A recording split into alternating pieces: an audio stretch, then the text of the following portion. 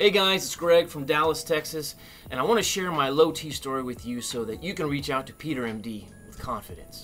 About eight months ago, I decided to make some lifestyle changes, and that included cutting out alcohol and smoking, uh, started eating clean, cutting out sugar, and uh, started going to the gym six days a week instead of four.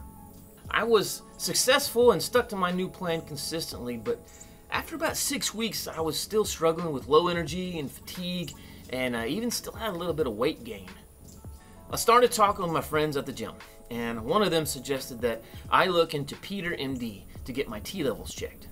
So I did it, I got my blood work done, and Peter MD called me with results five days later. My friend was right. My lab results showed I needed treatment for low T.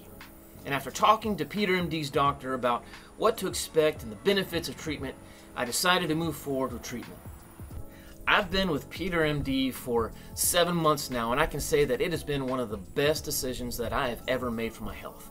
I feel 10 times better, and I've been able to maximize my time at the gym and my time at work.